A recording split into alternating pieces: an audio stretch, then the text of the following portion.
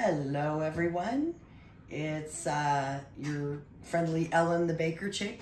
You know, I've been doing some thinking and I thought, you know, I haven't really done a beginner, beginner, beginner basic video of how to use your machine, maybe the first time or a little bit after, maybe second, third time. And I haven't ever made a basic white bread for you because I, it's not really something we eat and I haven't showed you how to actually make a bread in the bread machine and exactly how everything works. So instead of stepping forward, step back just a little bit and I want to talk about the very first time or second time you use your bread machine. Now, I only have one kind. I have three Zojirushi Virtuoso Plus machines. If your bread machine works differently, obviously you will have to follow the directions for your bread machine. But a lot of you, a lot of you I know have this machine. And so I hope this will be helpful, especially if you just ordered it and you're one of those people who, it's sitting there in the box, but you're intimidated and you're afraid to take it out. so I'm going to help you with the easiest, simplest recipe, although all recipes are really not that different from each other, just some different ingredients. So I'm gonna show you from the very, very beginning. I can't unbox it because I don't have the box anymore, but other than that, I'm gonna show you from the beginning. So this is the Zovi Plus, as we call it, to cut down on syllables. And this is the bread pan with the paddles inside. I'm gonna pop it out close the lid just for now so it's not in the way of the video. And I'm gonna bring the bread pan over here. Now, the bread pan has the two paddles already in it because when I wash my bread pan, I dry it immediately and I put the paddles in it immediately. Do you know why? Well, because some people wash their bread pan and wash their paddles and leave them to dry and they go and they take their bread pan and they start making a new bread and then they wonder why it's not mixing, and it's because they did not put the paddles back in. Almost everybody who uses a bread machine that I know from all of the Facebook groups have done this. I've done it. I only did it once.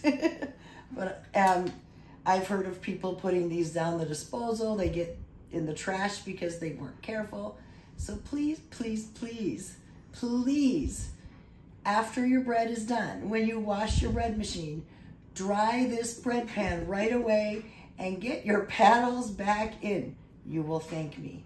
All right, so speaking of paddles, I'd like to show you how to put them in. Just in case you haven't used your machine before. I hope my fingers won't be too much in the way. How I do it is there, well, there's like a round and a straight with a little notch. Same thing on both sides. I don't know if you can see it. Um, the paddle is, looks like round on both sides, but it fits a certain way. So what I do, sometimes it just goes right in if I hit it just right, which is unusual, but usually I don't. And it sits up like that, and I just go give it a flick. And that's all I do if it goes in the first time, it's kind of a miracle. So I'm gonna stick that back in, watch again, give it a flick. Just spin it and it drops into place. You should not have to push down. There's nothing to push, okay? And if I try to pick it up, I mean, I could wiggle jiggle it out. But if you pull, well, say I did it again. Oh, that's twice in one day. That's pretty funny. But if I have it in not straight, if I try to pick it up like that, it may or may not come out depending on if I've turned it or not. Okay, now, there is a myth floating around that you are supposed to align your paddles like that, or possibly like that. That is completely 100% untrue. Now, if you do it and it works for you, by all means, enjoy yourself, do it. If you believe it works, then it works for you, and that's fine. I knew for sure it couldn't be the case, but I wrote to Zojirushi. I have a copy of the letter if you want proof. I have it in a file. It makes no difference, okay? If you get a lopsided loaf, it's because either it's you didn't have enough water or you had too much water or whatever. And sometimes the loaf is perfect, but it just comes out a little sloped.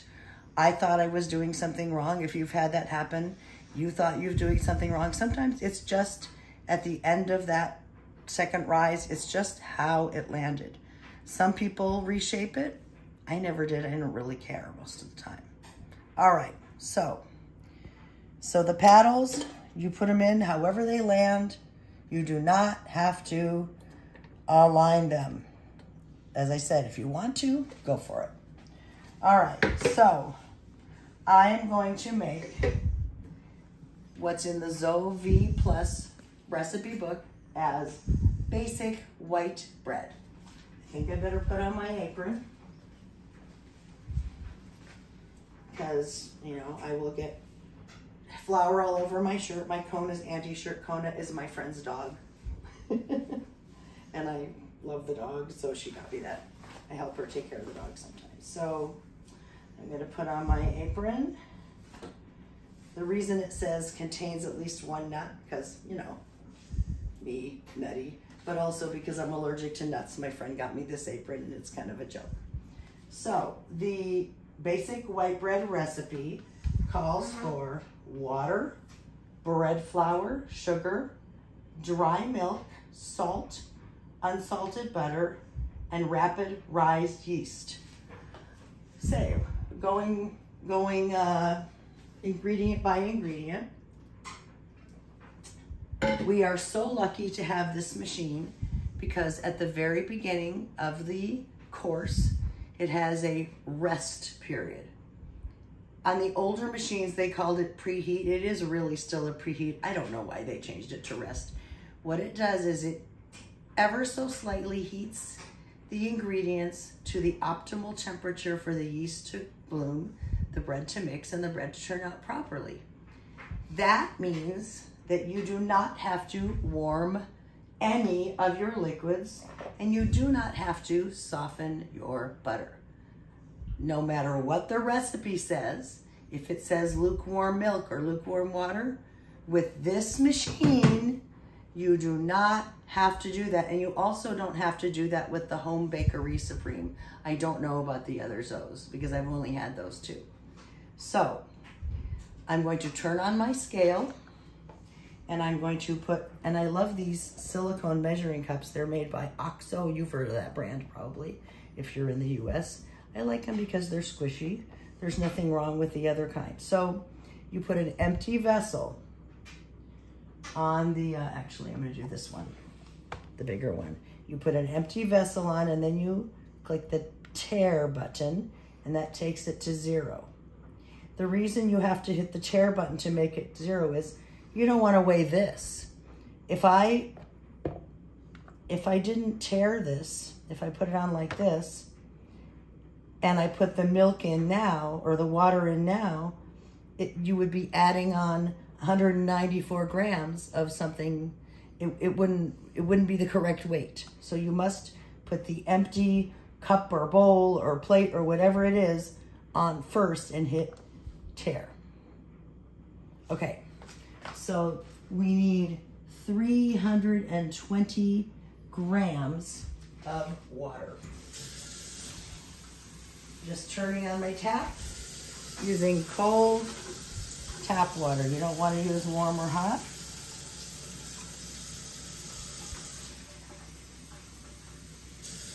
And now you know why I switched to the bigger cup. Getting closer. All right, half a gram extra is probably okay. If I wanted to, I could like stick a spoon in here and wow, I'm at 399.9. Put a drop back in. There we go, 320.1. See how close it is? It's to the 10th of the gram. So I'm going to now pour that into the bottom of the machine. Our machine takes liquids first. Paddles are in. Always double check that your paddles are there. Pour in your liquid, okay? The Zoe cookbook has the ingredients in the exact order you need them, so that makes it really easy. Now, if you're making a recipe from a different place, it may have the ingredients in a in a different order, not necessarily liquids first. So you don't mess up, so I don't mess up anyway, because I'm not as organized sometimes. I actually rewrite the list of ingredients to put it in the order that my bread machine takes it. And here we go. So the next ingredient is bread flour, and it is 553 grams.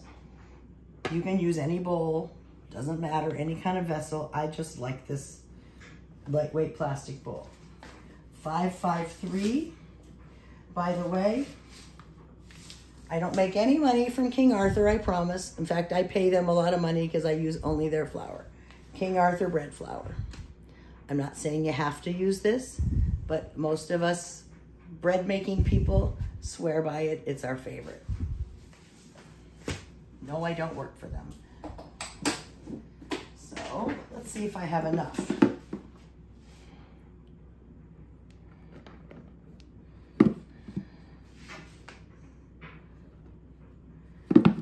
Uh, will I have to refill it from the back? Oh, I think I'm gonna make it.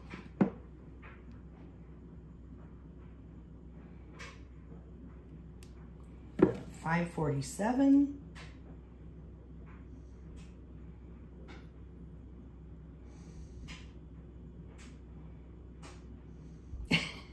We're almost there.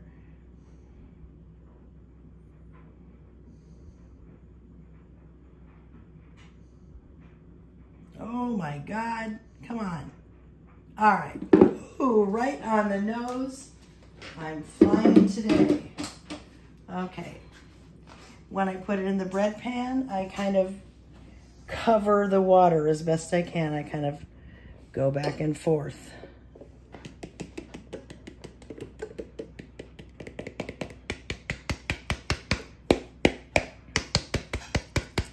All right, our flour.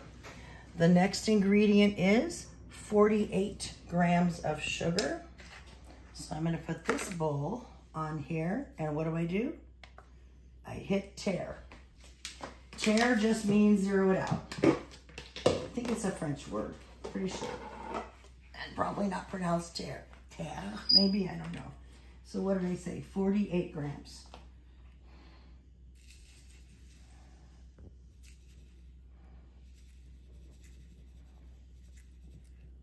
Let it catch up. 10 more grams.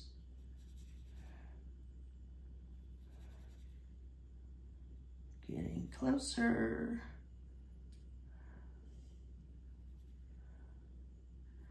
Wow, look at that. Okay.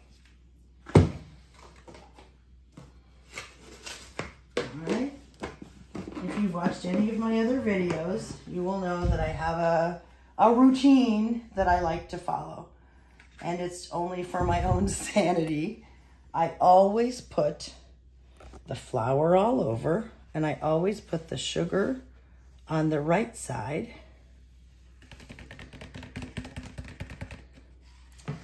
And I always put the salt, I have salt there, on the left side. That way, if the phone rings, if I have to use the restroom, if someone distracts me, I can look and see. Okay, I see the sugar. Did I put the salt in? Nope, it's not there. All right. Oh, I'm sorry. We have to do the dry milk first. Um, this recipe calls for eight grams of the dry powdered milk. And I have it right here. Now, I want to talk a little bit about this, but first I will measure it.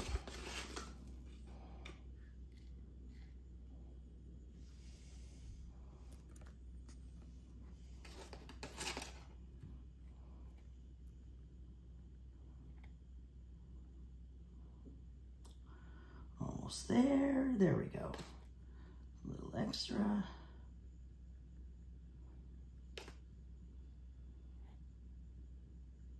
Okay. All right. There's always a debate about, and I'm just going to mush that little, there we go. There's always a debate about the powdered milk. Some people have never used or heard of powdered milk before. Some people say, well, do I have to use it? Now, there are all kinds of options, and I hope I don't confuse you by this. The reason that a lot of the recipes call for the powdered milk is because they want to, the people might want to use the delay function, meaning to set the timer, like you do this at night, you put the ingredients in at night, you set a timer for it to be ready at seven in the morning so you have hot bread for breakfast. You cannot do that with regular milk because regular milk is perishable, it will spoil, so you need the powdered milk, okay? If you are making your recipe right now, you can still use the powdered milk. It won't hurt anything. You can leave it out entirely. This ingredient doesn't make a huge difference, but it does sort of make your bread a little, milk makes your bread a little richer in flavor, kind of a nicer texture. The other thing you can do, which is what I almost always do, is when I put, instead of using water, like the, the was a 320 grams of water. Instead of using water, I just use milk. I don't use non-fat milk because I don't usually keep it in the house. I prefer whole milk. I even sometimes use half and half. It doesn't matter. In fact, you can mess with the fat content in your bread a lot. I double the oil, I double the butter sometimes. You can always increase the fat content. So if you just don't have powdered milk and don't want to buy it, you don't need to. If the recipe calls for 320 grams of water and then it calls for dry milk, just use 320 grams of milk or almost any liquid. You can play with the liquid. Some people use almond milk or oat milk or soy milk. You may have to experiment a little to see what works, but liquid is liquid for the most part. And you definitely do not have to have this weird powdered milk stuff. It's not weird, but I rarely use it. I just had it in the house. So I wanted to do it for this recipe. I'm gonna kind of pour it on one side of the flour.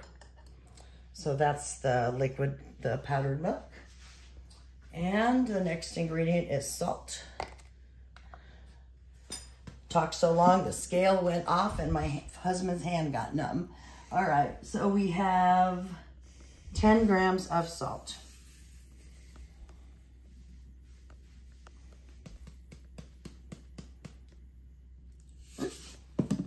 I always get too much salt in. There we go.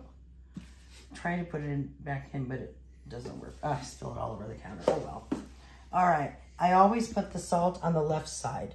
When I look in here, I can see that I have the sugar on the right and the salt on the left and that I'm not nervous. Okay, the next ingredient is unsalted butter. All right, here's another conversation. Unsalted butter. I make so many bread machine recipes that I keep both salted and unsalted butter in the house.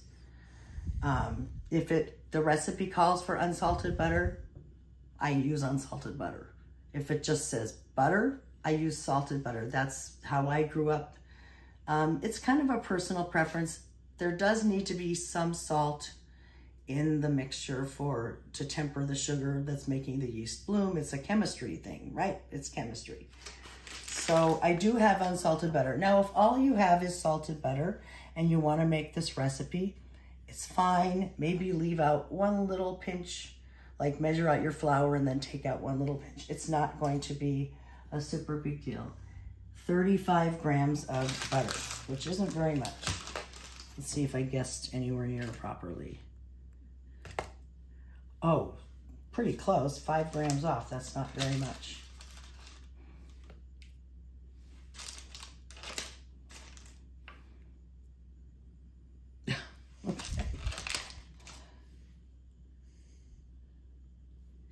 Little teeny more, bit more. Oh my goodness. Come on. All right, so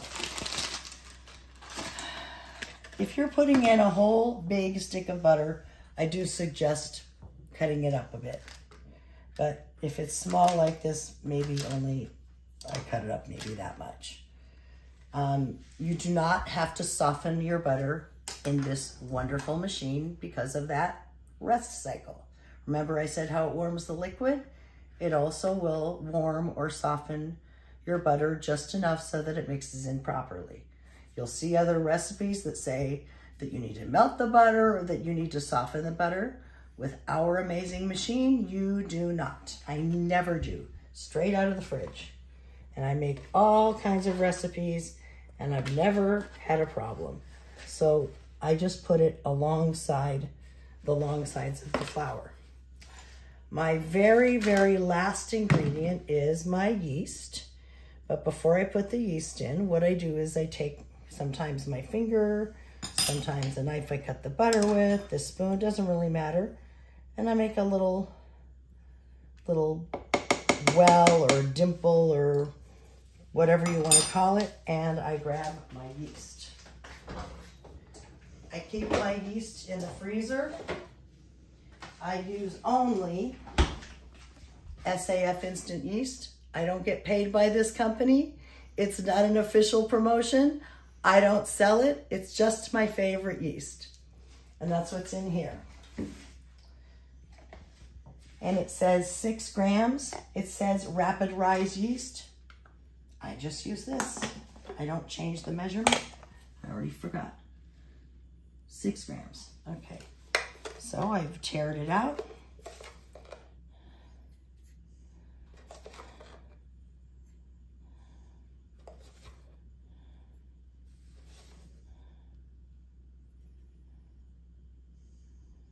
All right, 6.1, good enough. That's only one tenth of a gram extra. It will not hurt it. And then I put the yeast right in that little center area. You never want the yeast to touch anything but the flour. Seeds that are dry are, are also not going to hurt it, like when I make rye bread, but caraway seeds. All right, we are going to go and, and look at the recipe. This recipe is made on course number one. Not number one on this just means the first recipe, but we want course number one, which is basic. So we're gonna go over to the bread machine. I'm gonna open the lid, making my husband walk backwards. and when you put this in, how to explain it. How I learned is there's a gray dot there and a gray dot there. There and there, right? I sort of aim these two things right here for those gray dots. That's kind of the guide I use. You put it in carefully and you kind of wiggle jiggle. And then when you get those two outcroppings or whatever you want to call them, you get it in there and then you go.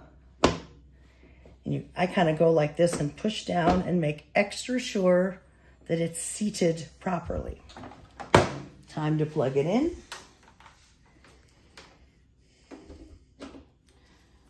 All right, and I need to go to course one. These are the course buttons. So I know I'm on course 11 already because I always use the dough cycle. So I'm gonna go down to number one. And then it says crust control and I have it on medium and I think I'm going to leave it on medium. And I'm going to press start and it'll say rest right there. That rest cycle will be about 25 or 30 minutes long. And then the machine will start going and it'll start mixing and kneading and that goes on for quite a while. After it finishes kneading, it will go on to rise. It will knock it down and then it'll go back to rise some more and then it'll bake it. And I will show you all along the way all the things that happened. Um, I do want to talk about what I do is set a timer, like I'm going to set one. Hey Siri, set a timer for 25 minutes. 25 minutes starting now. That's about when the rest cycle will be over because I want to be in here about five minutes to seven minutes after it starts mixing. Because even though the machine is relatively set it and forget it, you do have to do one thing. You do have to watch it about five to seven minutes into kneading to make sure that the proper amount of liquid versus flour is correct. And I'm going to show you what to look for.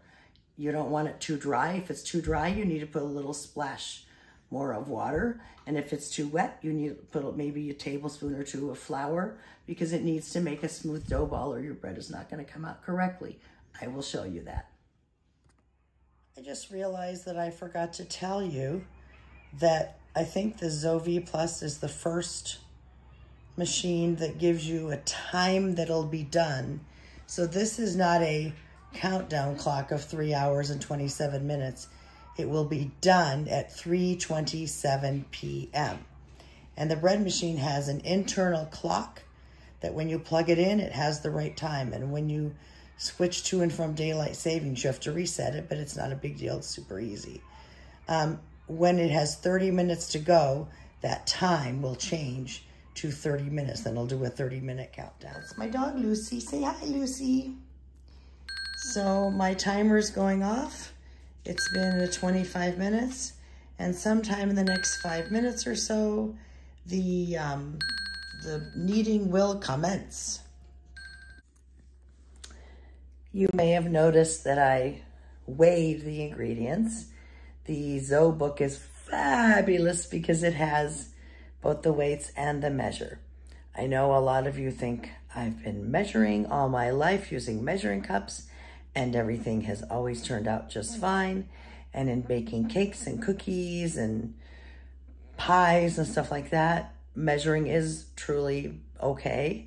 Um, but I have converted or am in the process of converting all of my recipes, even my old cookies and cakes and pie recipes to grams because it's easier. It's so much easier. It uses way less dirty dishes. And um, the flour count, especially the flour measurement, is extremely, extremely more accurate when you weigh in grams as opposed to when you measure with a measuring cup. I have measured with a measuring cup and weighed, being really careful, making sure I fluffed my flour and everything else and met, weighed it. And I've gotten three different measurements and it was all from the same measuring cup. So it's not very consistent. The most consistent way of measuring and the most accurate way of measuring is using a scale. I'm going to turn the cam, well, I'm not going to turn the camera around.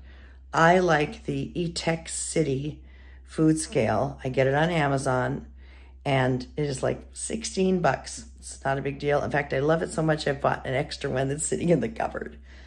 Please, please, please, if you are going to be making bread, get a food scale and get one that goes to the 10th of the gram. It's just way more accurate. So the bread machine has just started mixing and I know it's kind of hard to see. You can see a little bit. Um, the glare of the lights is not helping. Um, I'm gonna let this go for about five minutes and then I'm gonna check to see if it needs more liquid, more flour, or it is just right. In other words, it's a Goldilocks situation. it's not the five minutes yet, um, but I just want to show you, this is only mixed for like a, a minute. And it's already, you know, starting to come together, but I will, uh, I will, you know, get back to it in about five minutes to make sure of the proper hydration. Um, I just wanted you to see what it looks like in the very beginning. And by the way, when you open the lid, the machine stops. The bread machine makes lots and lots of sounds. First it was a clunkety clunky, now it's more of a buzzy kind of a sound, I guess you could say. Still uh, waiting for that five to seven minutes to check the dough, but we can look at it that way. Well, our dough ball I'm a little sorry to say it looks perfect. I was hoping that it would either be wet or wet or dry. Um, yeah, it's absolutely perfect. So do you see how it's made a beautiful, smooth dough ball? Um, if it looked dry, it would be slightly crumbly. It wouldn't have come together in one clump. Um, and you would maybe add like a tablespoon of water, let it knead for a minute or two, and then check again, maybe add some more. If it was too wet, there you would see all kinds of dough like on here, like around the paddles, like puddling around. Also, if it was too wet, this would be very sticky. It is just tacky. Now, I will say that when I use a scale to measure, when I learn to use a scale, getting a nice smooth dough ball is almost never a problem. When I was using measuring cups, I had to adjust more water, more flour constantly. Also, humidity has a lot to do with um, things. So um, a couple weeks ago, I was making a bread for my brother who was visiting from about an hour and a half, you know, where he lives a little ways away. And I wanted to make him a challah with craisins. And I'd made one just a couple days before and it was beautiful. This one gave me all kinds of trouble. And I realized it was because it was a rainy day. And I should have added more flour because it was just too wet and sticky, but I wasn't paying attention. I didn't set a timer like I did this time. And uh, I didn't have a smooth dough. Also, the dough was a little wet. Um, so anyway, you have to pay attention, but if you weigh your ingredients and it's not particularly super cold or super humid, I can't talk, super humid or on the other hand, super dry, chances are you will get a beautiful dough ball like that. And I forget to show you in the window it says knead. I had to run in here fast. Do you hear that beep? And you see that flashing? It says add. We're not adding anything to this, but when you hear that beep, that's when you add things like chopped nuts, raisins, chocolate chips, seeds, anything like that. And it beeps like that for, I don't know, about a minute. if you know that you're going to add something, I suggest that you have that ready to go right next to your bread machine when you press the start button and know that it's going to happen about I don't know, 40-ish, 35, 40 minutes. I usually set a timer for about 35 minutes so that I am just in the in the vicinity of my kitchen and I can hear when it goes off. So this is when you would add anything like that. I know it doesn't look very different from before, but it has been completely kneaded. And now we are in rise. You see where it says rise right there. That number one is course one because that's basic, like for a white bread. So crust control, I set, I didn't set it because it was already on medium. And the crust control button is right there. I kind of never use it, but anyway. Um, and that's the complete time, 328. Um, it is one o'clock almost in where I am, so it's going to be a while longer. It takes about four hours from start to finish.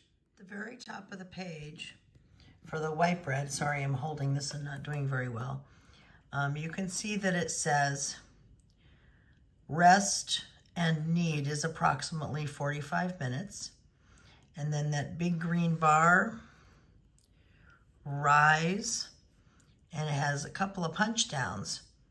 And then bake. And then you can see that crust color, crust control, medium crust, three hours, 25 minutes. Anyway, so that is, if you want to know how long things take, although I kind of wish they would put times on here. um, I almost always use, or I do always use the dough course, which is course 11. Like this is course one, but I use dough course 11. I prefer to shape my bread and top it with things and make cinnamon rolls and all that stuff. So um, I usually use dough. But this is for making the bread all the way in the bread machine. So this is just a little check-in. It's maybe 15, 20 minutes um, since the last time we looked. By the way, some people think you cannot open the lid. You can open the lid. Just don't leave it open for any major length of time. But you can see that this is already bigger because it is rising. Now it's knocking it down a little bit, kind of in the middle of the rise. It knocks it down a couple times on this course.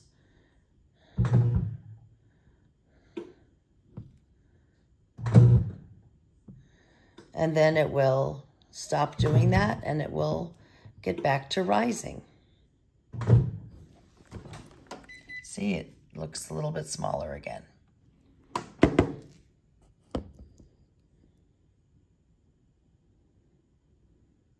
Oh, and now it's back to rise. Sorry for the glare. There we go. That's clearer. So it's risen, oh, about 20, 25 minutes since the last time I checked in. And now it's knocking it down one more time. And then it'll go into the final rise. I'll show you what it looks like inside. There we go.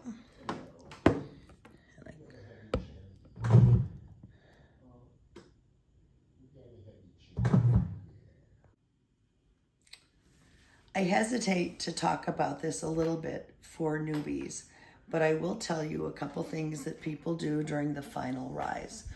Just before baking at the end of the final rise, they catch it before it starts baking and they take the dough out, remove the paddles, and then kind of shape the dough a little bit and put it back in. I have never done that, ever. Um, I don't ca care if it has a little slope to it. This bread is rising absolutely beautifully, but you can see that it does have a little bit higher on one side than the other. It doesn't hurt anything. The other reason that people might take the bread out and take the paddles out is because they don't want to have the two holes in the bottom of the bread. Now, it bugs some people never bothered me um, because by the time you slice it, the holes are kind of insignificant. But this is totally up to you.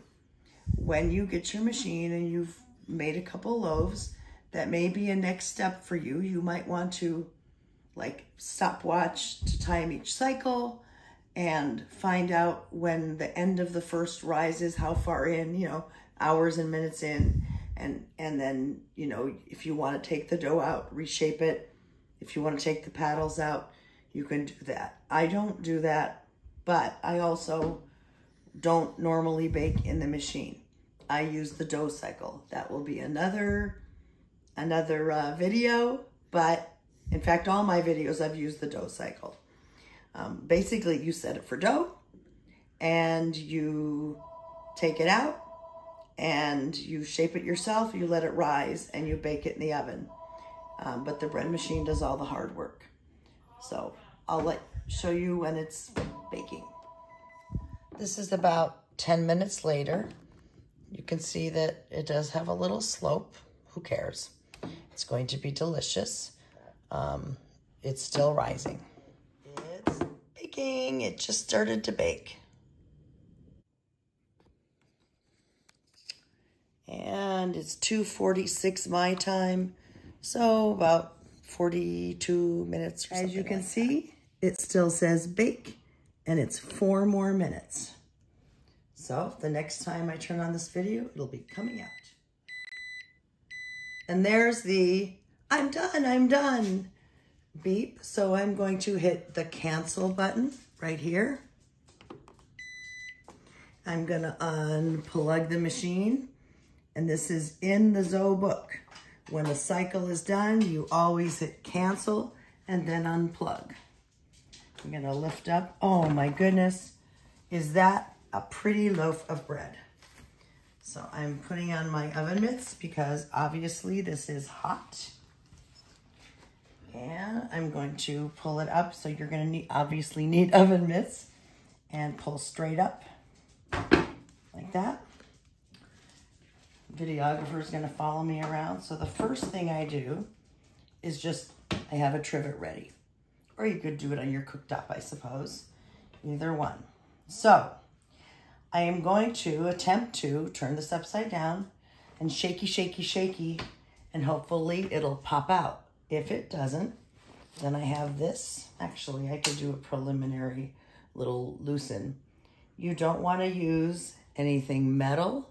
Obviously, you don't want to scratch the non-stick inside of your pan, but it feels, it doesn't feel like it's going to stick. It's coming right away from the edges. I'm not having to do real, I didn't probably need to do this.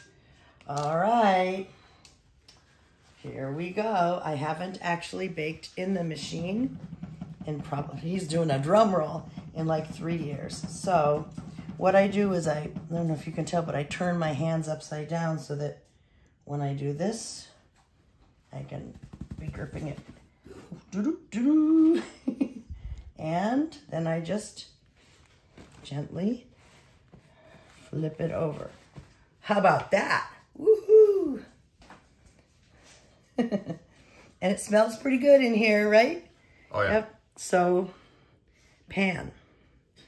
A little bread stuck to one of the paddles. Not a sin, no big deal. So the next thing we're going to do right away, I'm going to take one mitt off for a minute. I'm going to squirt just a couple drops of dish soap. Get my water a little bit warm. Fill it just so it's above the paddles. Now, notice I did not put it in my sink.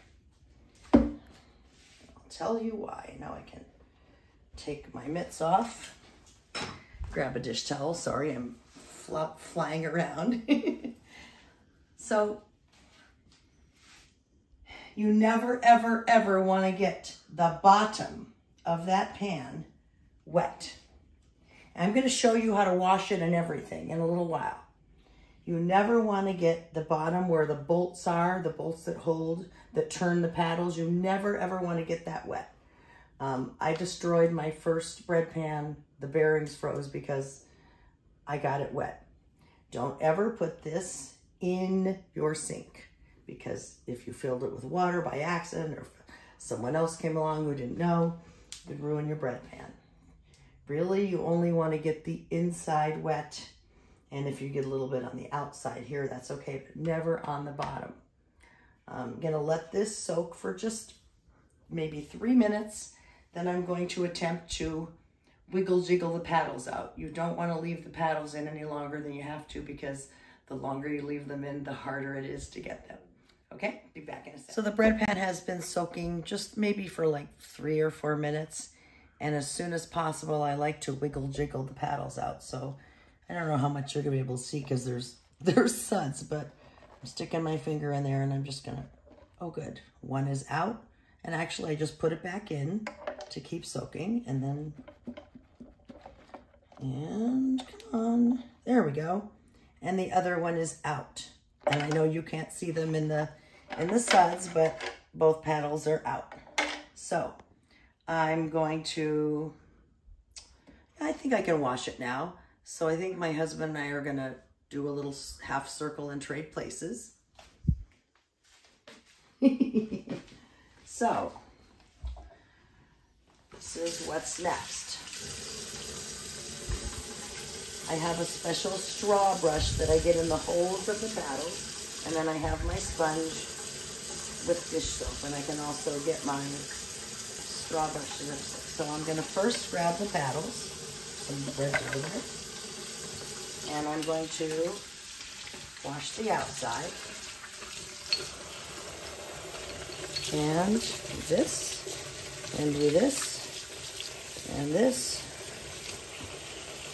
Because you can, you know, get dough, your bread on the inside. I'm going to put these over here. And now I'm going to wash the bread pan. And this is the big deal. So,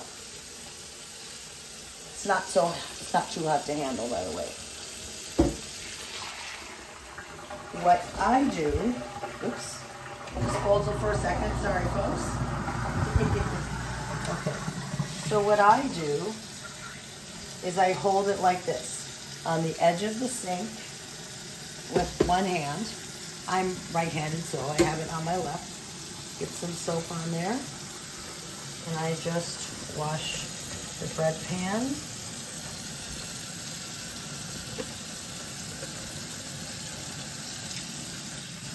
Notice that I'm really only washing the inside. Obviously, if you've got something on the outside, you can like wipe it off with a paper towel or something, but you don't want to run water even on the outside, intentionally at least. So then what I do is I spray it out, and I got a little water on my hand there. So I spray it out. And I know I'm not done rinsing. And I flip it over. And I spray it out the rest of the way. Rinse, rinsey, rinsey. Normally things don't stick. I don't see any bread in there or anything. Rinse the handles. I think I'm, let me just make sure. Yep, it's just water. So what I'm gonna do first is put it like this. And first thing I do is dry the outside. Now, first thing I do is, well, second thing I do, I inspect in here. If there's even so much as a drop of water, the first thing I do is get paper towel. Why paper towel? Because it's thinner and it fits in the crannies better. I absolutely make sure that this is dry. I don't see any drops of water in there. You never, ever, ever want to get water inside here if you can possibly help it. If there's a little drop when you're washing it, just get it dry, okay? So I dry the outside. Doesn't have to be bone dry. And then I just go like this and flip it. That's my favorite part. I dry the inside and I don't dry it like every inch dry. And then I just, again, do the paddles, put it in and flick, put it in and flick. And the pan is all ready for the next use. I will say that I do not put this back in the bread machine for storage until a few hours later or even the next day to get the rest of the bread pan dry. I'll show you what it looks like sliced later. I usually let a loaf of bread cool for about two to three hours before slicing. But just so I could finish this up and get this online for you, I wanted to show you what the crumb looked like. So we just cut, you know, one slice. Well, actually the end and then one slice. You can see that it's perfect and soft and it'll be a delicious white bread. Newbies, newbies, newbies. I hope that this helps you in your bread machine baking endeavors. Um, please subscribe so you get new notifications of new YouTube videos on here. You can message me anytime on YouTube. YouTube, I respond really quickly. And if you'd like to message me through Facebook, that's actually a little easier and you can do that too. And I respond pretty much except when I'm sleeping or at the gym or where I can't respond. I'm checking my messages and responding. I'm always here to help you. So I hope this has been eye-opening for you. And I hope that if you haven't opened that bread machine that's sitting in a box or or you know that you haven't used in a few years i hope this has been beneficial to you and i hope you enjoyed it and i wish you happy bread baking